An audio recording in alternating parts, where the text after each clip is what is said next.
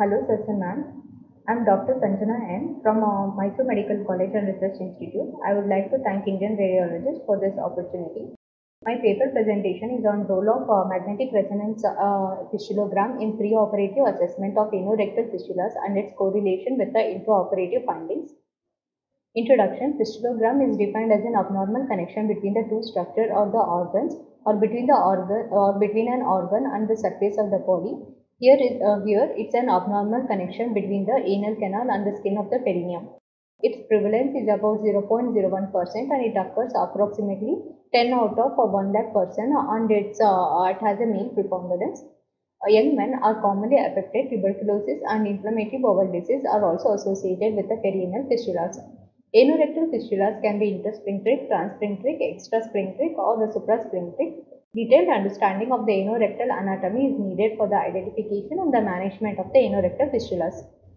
Objective uh, to study the role of uh, uh, MR fistulogram in preoperative assessment of the anorectal fistulas, to identify the fistulous tracts, internal opening and relationship of the perianal fistulas with the anal sphincter complex, to correlate MR findings with intraoperative findings.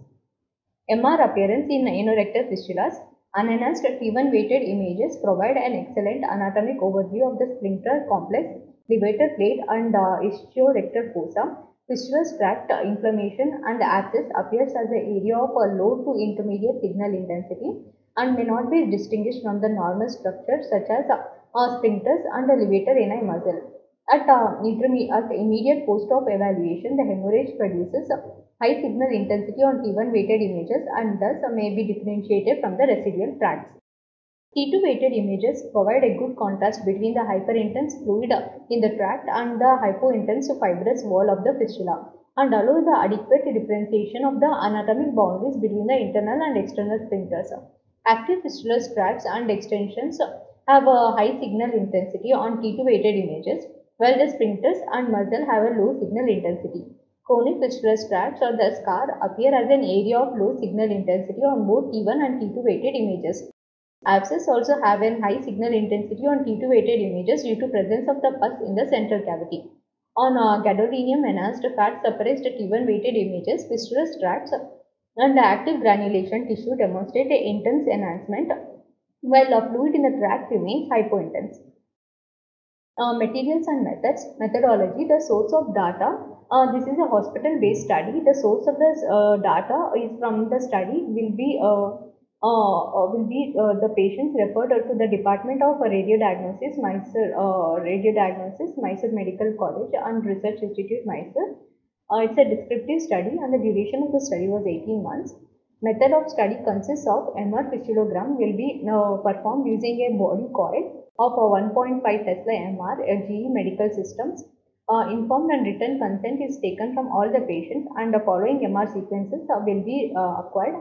Oblique axial and coronal T1 weighted fast spin echo, T2 weighted fast spin echo. Then a fat suppressed oblique axial and coronal T1 and T2 fast, fast spin echo coronal and axial step and uh, contrast enhanced oblique axial coronal sagittal uh, FATSAT T1 weighted fast spin echo. The contrast used was uh, gadolinium to uh, 0.1 millimole per kg at a rate of 1 ml per second.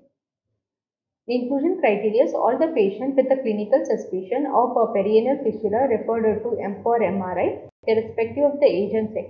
Exclusion criteria patient having history of claustrophobia or history of uh, metallic implant insertion, cardiac pacemaker and uh, metallic foreign body in patient in whom intraoperative follow-up could not be done. Uh, then uh, results and study.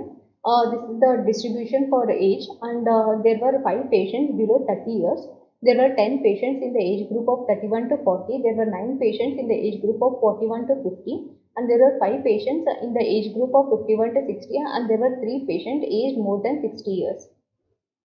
Then according to sex distribution of total 32 patients included in the study, 20 were male and 12 patients were female. And uh, this is the distribution of uh, internal and external opening.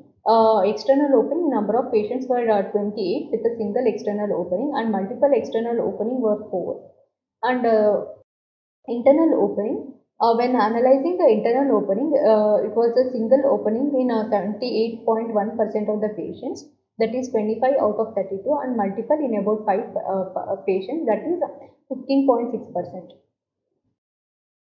Then our secondary tracts. In our study, 10 out of 32 patients, that is 31.3% had a secondary tracts and the abscess in our uh, study, the abscess was identified in 7 out of 32 patients which uh, corresponds to 21.9%.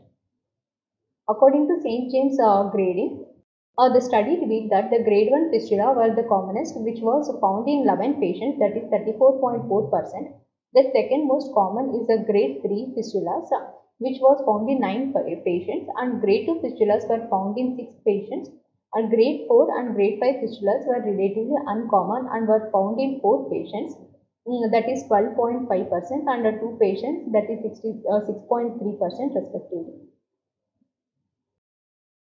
Uh, the sensitivity and specificity of the MRI for grade 1 and grade 5 uh, were in the order of 80 to 100% and uh, for a grade 5 it was uh, 96.4 and 100% respectively. And uh, for the other grades uh, the sensitivity and the specificity was 100%. Uh, so this is a uh, image showing high signal intensity between the sphincter which corresponds to grade 1 a simple linear intersphincteric fistula. And in the second image we can see a high signal intensity collection in the ischiorectal space and a linear high intensity tract between the anal canal and the uh, between the anal canal and the subcutaneous collection which corresponds to grade 2 intersphincteric fistula with abscess.